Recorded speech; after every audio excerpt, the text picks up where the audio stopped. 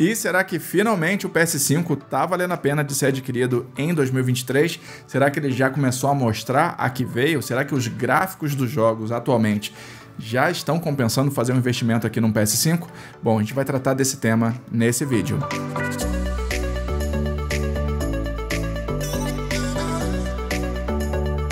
Fala galera, beleza? Quem fala aqui é o Sandro, você está aqui no canal em análise e hoje a gente vai bater um papo sobre o PS5 e saber se ele já está começando a entregar pra gente o que a Sony está prometendo desde lá de trás, desde o lançamento dele, tá? Estamos já em 2023 e agora talvez surja a pergunta se vale ou não a pena você investir aqui num PS5, tendo em vista alguns jogos que foram lançados recentemente, tá? Eu já tenho o PS5 aqui faz quase dois anos e eu já tenho aqui algumas considerações a fazer interessantes para vocês. Bom, logo que eu adquiri o PS5, eu fiz um vídeo trazendo aqui para vocês as primeiras impressões que eu tinha a respeito do console, tá? E ao longo de alguns meses mais para frente, eu vim trazendo as minhas percepções, como é que elas estavam se saindo, como é que eu achava que o PS5 estava se saindo, o que, que eu esperava do PS5 a longo prazo e chegamos mais ou menos num período em que já dá para ter uma ideia aproximada, tá? É claro que ainda tem muita coisa por vir,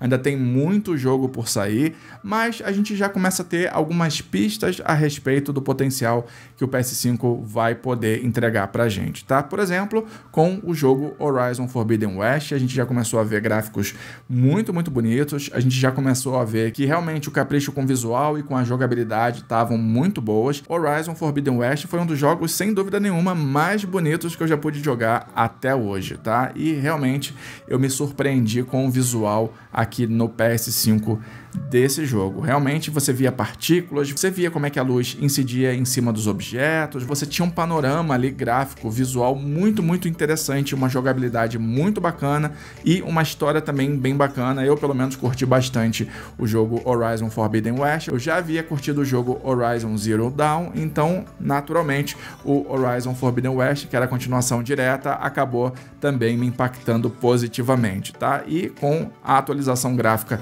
que foi feita aqui no PS5, sem sombra de dúvida nenhuma, me impressionou positivamente, tá? Mas não só esse jogo se saiu bem na minha opinião. O novo God of War também para mim foi um dos melhores jogos já jogados por mim até hoje, sem sombra de dúvida nenhuma, tá? Eu sei que quem ganhou o prêmio no ano passado foi o Elden Ring, que eu também tenho esse jogo, realmente é um jogo muito bacana, muito bonito. Eu adoro jogos de mundo aberto, eu acho super interessante, eu adoro explorar esses mundos gigantescos que são feitos, tá?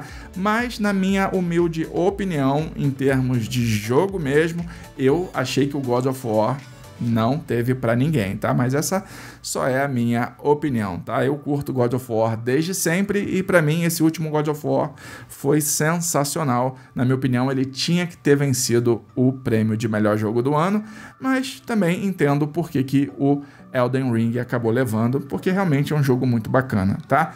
Mas com relação aos gráficos em si, o God of War Ragnarok, sem sombra de dúvida, deu um passo à frente no que diz respeito aí a gráfico, tá? Eu achei que ele foi mais bonito visualmente do que o Horizon Forbidden West, e eu já havia curtido bastante os gráficos, mas realmente o God of War, na minha opinião, se saiu melhor nesse quesito.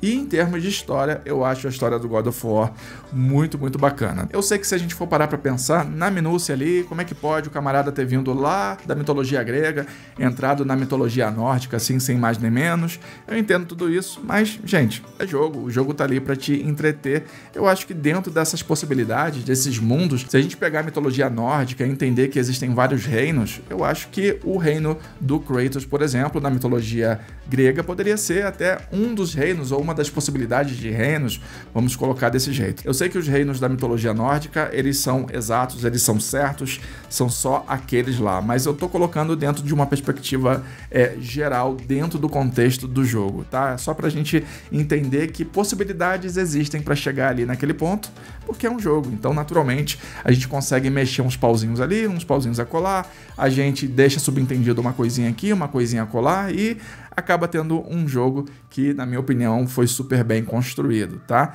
Tem algumas brechas, existem algumas perguntas ainda sem respostas dentro do jogo, mas ainda assim eu curti bastante o God of War Ragnarok. Obviamente eu citei aqui dois jogos que são exclusivos do PS5 e a gente sabe que os jogos que são exclusivos do PS5 a Sony dá um capricho a mais, porque os desenvolvedores têm um acesso mais privilegiado ao hardware aqui do PS5, então eles entendem melhor a dinâmica, é estúdio próprio, então acaba fazendo ali os pauzinhos girarem de maneira mais redonda, mais aprimorada, com um capricho a mais. Mas eu espero ainda bastante coisa daqui para frente com relação ao PS5.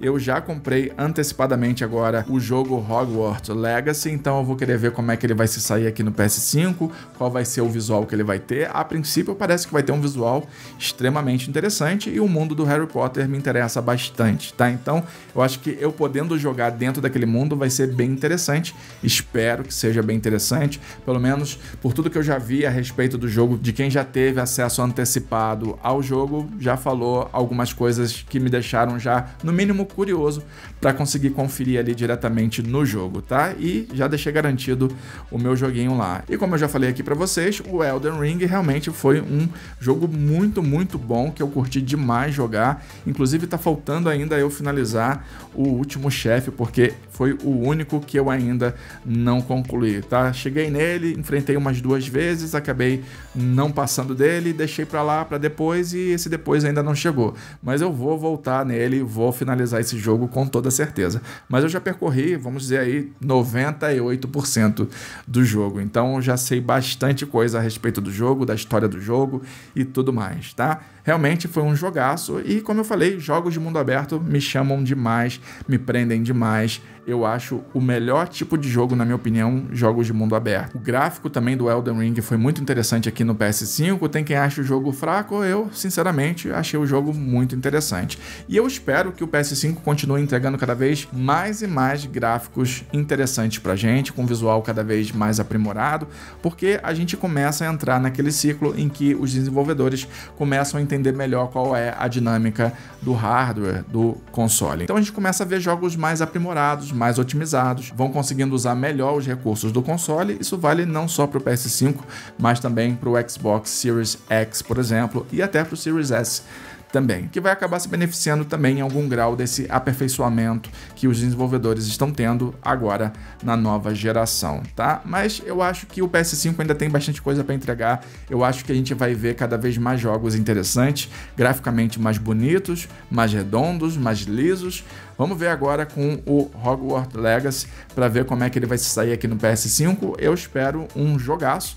Espero que eu não esteja errado, mas realmente eu continuo aguardando por cada vez mais títulos de melhor qualidade, com mais visual aprimorado, com mais jogabilidade interessante. E por conta disso tudo, eu acho que tá valendo sim a pena você investir aqui no PS5 em 2023, tá? Claro que a gente sabe que o PS5 não é um console barato. Aliás, nenhum console hoje em dia é barato, até o Xbox Series S, se a gente pegar aí como melhor custo-benefício, ainda é um console bem salgado, se a gente for colocar aí na ponta do lápis mas é o preço da tecnologia. Se você for investir aí no Xbox Series X, você vai pagar a mesma coisa que você pagaria no PS5. Então eu acho que sim, tá valendo a pena a gente investir aqui no PS5, porque a promessa é muito grande para os próximos jogos que vão chegar. Aqui no canal eu já fiz vários vídeos a respeito do PS5, então se você quiser saber mais a respeito desse console, ou do Xbox Series S, ou do Nintendo Switch OLED, eu tenho vários vídeos aqui no canal, vai ter uma playlist agora aqui no final do vídeo,